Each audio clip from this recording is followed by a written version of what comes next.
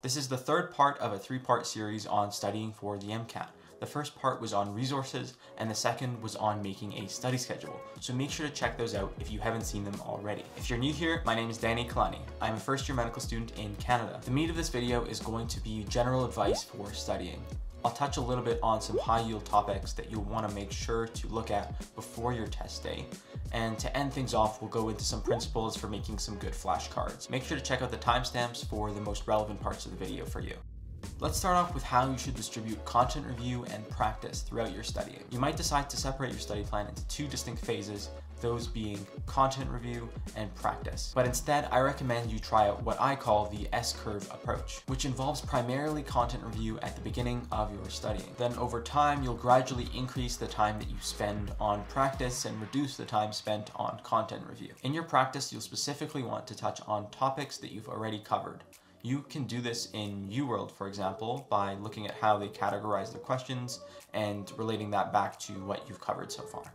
During content review, you should try and avoid asking yourself the question of, do I need to know this? It's a common question asked in lecture halls and it can become a bad habit when you're studying for the MCAT. If you see something in your resources that you're questioning whether or not you need to learn, you're better off spending your time learning it than spending your time trying to figure out whether or not it's actually relevant.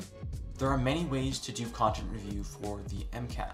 I'm personally big on Anki, but regardless of your study strategy, it's important that you find ways to continually improve it over time. You're bound to have missteps in your studying, but what's important is that you continue to learn from them and improve the way that you study over time. In summary, be self-reflective over what works and what doesn't. In the same vein, keep a running list of questions that you get wrong or topics that you're weak at. If you want a template for keeping track of your mistakes, check out part 2 of this series, which I'll link up here.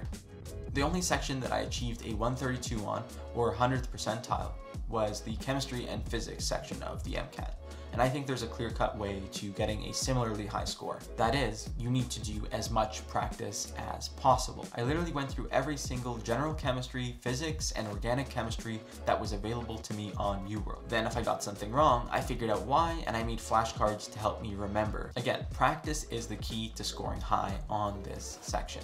Next, I want to address a pitfall that I encountered myself during my studying, which is over-planning. Productive studying involves a little bit of time spent strategizing and the vast majority of your time spent executing your plan. It can be easy to view spending hours of your time planning as productive, but in reality, the only way to get yourself closer to your dream score is to put in the work.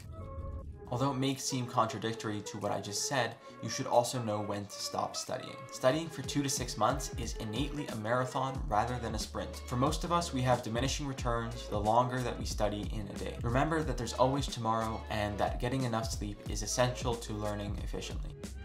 What about having a life outside studying? Is that something that you should strive for? Like I said, the MCAT is a marathon. Imagine that you're an athlete training for your next big competition. You wouldn't compromise your social support and you would rest when you need to. Sometimes our biggest breakthroughs in studying come once we've given our brain a chance to process things in the background.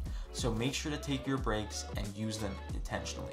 You're also bound to have days where you feel unmotivated and you just can't get started. When this happens, try out the Pomodoro technique, which involves studying for 25 minutes at a time and taking short breaks in between. By breaking studying down into less overwhelming chunks, it can help you get started and give you some momentum to keep you going. Now we're going to touch on some things that you should absolutely know for the MCAT. This list is by no means a complete representation of what you need to know, it's simply a few highlights that I thought were relevant to mention. The first is amino acids, which are found in tons of biochemistry questions in multitudes of different ways. You should know how to draw them as well as their properties. They're going to be covered in pretty much any content review resource that you use, but I want to point you towards another resource that I use to help make it stick, which is a Quizlet deck. Next are the formulas which you'll come across as you go through content review. You actually don't need to memorize every single formula in the books if you can master something called dimensional analysis. Using dimensional analysis, you can oftentimes derive formulas that you aren't familiar with. I recommend looking up videos on dimensional analysis after you've watched this.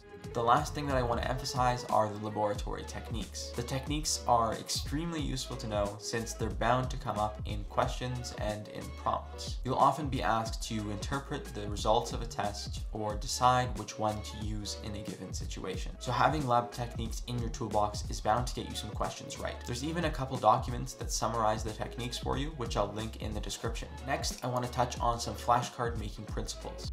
The first is to seek to understand, then learn, then memorize. If you get this right, you'll waste less time staring at flashcards trying to understand what you're meant to know. Plus, your flashcards are bound to be more accurate and better written if you follow the order of understand, learn, then memorize.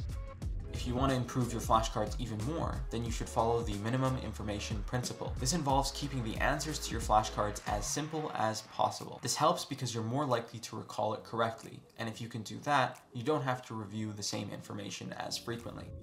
The last point about flashcards is that mnemonics should be a last resort. If the understand, learn, memorize sequence doesn't work well for a particular piece of information, or if you're tasked with using a list, then it might be time to try out a mnemonic. Generally speaking, you should limit the use of mnemonics because they have a high time cost to create. I imagine that if someone used only mnemonics to learn everything for the MCAT, this is what would happen. They would probably end up doing content review for far longer than necessary and end up losing track of which mnemonic corresponds with each topic. These three flashcard making principles are by no means a complete list, and I could probably make multiple videos on the formulation of good flashcards. For now, if you're interested in learning more, I'll link a blog post with 20 rules for formulating better flashcards. If you enjoyed this video, consider subscribing to the channel.